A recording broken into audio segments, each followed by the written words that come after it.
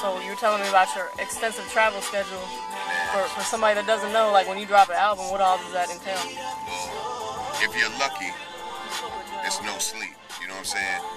It's it's a lot of press, a lot of interviews, a lot of meet and greets. You know, a lot of you know doing drops for people for for whatever reasons, and just really just taking as many opportunities as you can to get in front of as many people as possible. I mean, I mean, let's be honest. I'm not gonna be at you know That's Good Morning America. man.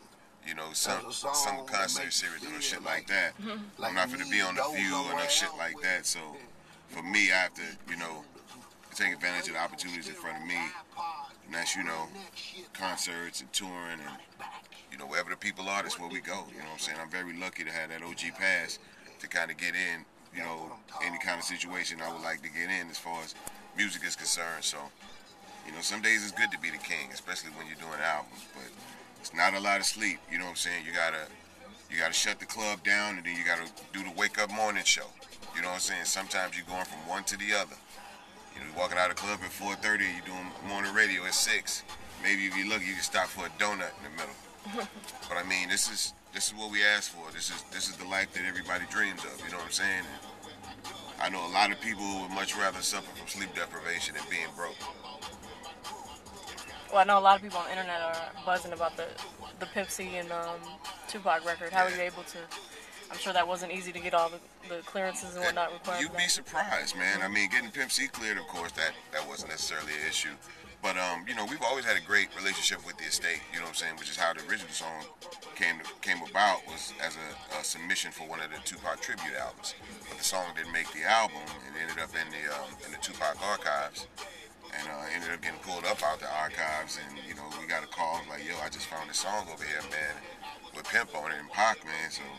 You know, we like if you want the song back, you know, we can get you this track back. I'm like, cool, you know, it'd be great to have, you know, have an unreleased Pimp C version. Like, well, you know, we gonna give you the Pac verse too. I'm like, shit, we out of here.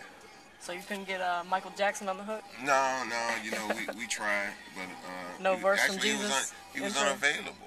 You know what I'm saying? I didn't get that. Uh, but no, um, you know, we, we, we, we went for Marvin Gaye, and then after that, we just said we're gonna do Trey Songz. We went for, you know, that's what we were trying to find is some new Marvin Gaye. Right. Nobody could get known on the phone, so we just went with Trey Songz, the next best thing, you know. That's a big compliment for Trey Songz. Oh yeah, absolutely. You know what I'm saying? So when you leave here, you're going to leave here, go back to Houston, pack up the bags, we get up, uh, do morning radio, do in stores, then we go to Dallas, got a release party in Dallas, then we get up, do morning radio in Dallas, and come back to Houston, uh, do the concert in Houston. Then Thursday we go to Atlanta, do the release party at Opera. Then Friday we go to the Army base at uh, Fort Hood and Killeen, do an in store for them. Uh, then we leave Killeen, drive down to Austin. I got an in store. I had two in stores in Austin, one at a record store and then one at uh, Nice Kicks, a clothing and shoe store. Then I got a, uh, are we doing a party that night possibly? Yeah, doing something that night. Yeah, Club Illusions that night.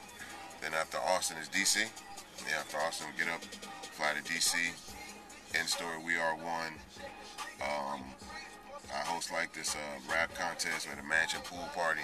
Maybe do a couple of songs there. Then I got a concert that night. Then uh, where oh, we at after DC? Oh, we're gonna go to church on Sunday. Oh yeah, we go back home on the first thing, go to church on Sunday. Thank God for letting us have this great release. that's quite a week. Yeah, well, I mean, you know, You And should ask the next people. week So is- what are you doing? yeah, exactly. no, I mean, but you know, it come with the job. You know what I'm saying? I wouldn't have it any other way. You know what I'm saying? If I was just sitting in my house right now on my ass, I mean, something's really wrong. I mean, this is the best place I figured I could be in today prior to my album coming out in two days. I mean, this this is where you want to be.